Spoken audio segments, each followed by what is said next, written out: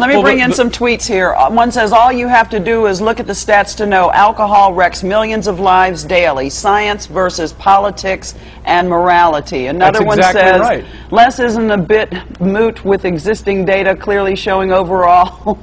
this one doesn't make any sense. But anyway, go ahead, Brian. What were you saying about that first one? That's exactly right. We, but Another one says society, marijuana is much safer than alcohol. We've ha- we as a society have had a battle over the legalization of alcohol, and it's something that our And constitution has fell. dealt with. And it's and it's now it's now uh, it's something that's allowed. People are allowed to use it, and I I, I drink a beer every Right. once in a Well- while. I don't think there's anything wrong with that. But Right, society, and there's nothing wrong with smoking a joint. Yes, nothing wrong with smoking. Brian? Because it, it Brian, causes what? so many problems for our society. You mean like Look, alcohol you have to and have tobacco? reasonable lines, reasonableness, Right. and reasonable lines. Let's- and let's ha- I've let's- drawn my line. I think society's drawn the line at marijuana, and and and you uh, have drawn But it wait in a different what, place. what about the what about all the statistics that Allen just cited? And in fact, there is the re- most recent survey says that 56% of Californians favor legalizing pot for recreational use. So a lot of people are moving that line the same way they did uh, with prohibition. Well, the bottom line is the the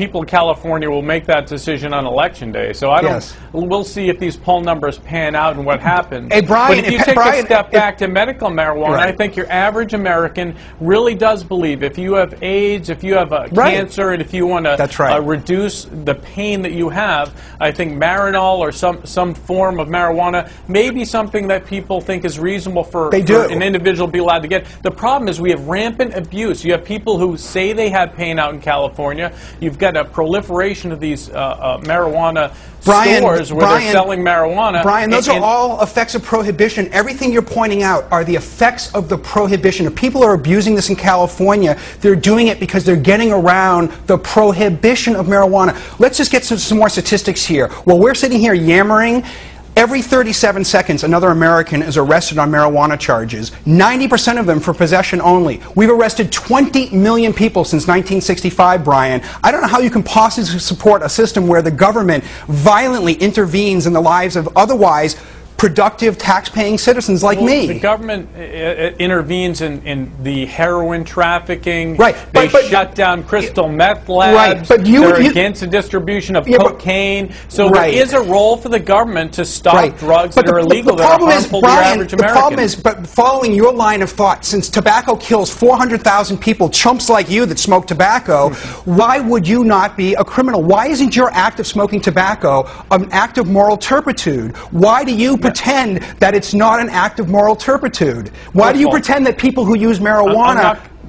I'm not, I'm not going Yeah. to accept a lot of your premises. First of all, marijuana I'm not is not you good wouldn't. for you. It's Right, not just good like for alcohol and you. But Brian, tobacco are smoke- not good not for you, Brian. we and know I that know they're smoking is not for good for you. I So why don't we you. make that illegal too? Do you Brian, think we should? Brian, ice cream is not good for you. Would you make ice cream illegal? That's No, pure I love fat. ice cream. I love Okay, it. It's so, great. So, Brian, the problem Okay, is but you, ice cream Brian, doesn't make you high, Allen. It doesn't Yeah, okay. impair you. So where we're, what we're talking about here, to use my favorite 25 cent word here, which I hope Brian will appreciate, we're really talking about psychopharmacological McCarthyism. Hmm, how you like that one? Whoa. Right. That's Explain more than that one. How, how could we have a society today where alcohol kills 100,000 people a year? All around America today, people will get pulled over for dri- drinking and driving. 400,000 people will die annually just for using tobacco. So That's right. So how could we justify arresting and incarcerating somebody who's using a substance that doesn't kill, doesn't addict, and doesn't cause the same problems of the drugs you consume? It does addict. It is addictive. Marijuana It's not is an addictive. addictive drug.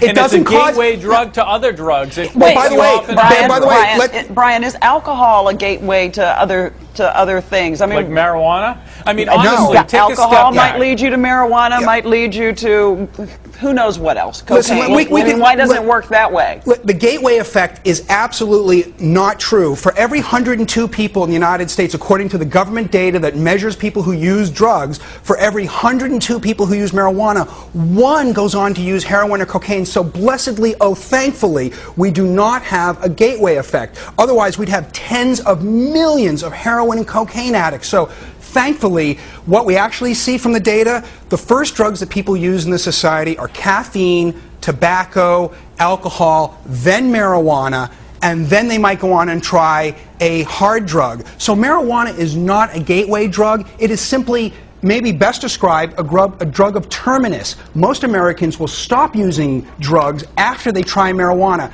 Thankfully, so few people will ever go on and experiment with heroin let, or let cocaine. me, let me cite an authority that uh, I don't usually cite, the Obama administration. They have found that marijuana is associated with dependence, with respiratory and mental illness, with Right. poor motor performance, and Right. cognitive You- impairment. Brian, that could- doesn't Brian, sound you- like a good drug to me. Brian, you could read the same list for alcohol. The point is, I'm trying to get you to expand beyond your clear Well, bias for Wait Wait a minute, wait, It's hold on, let me a get in here.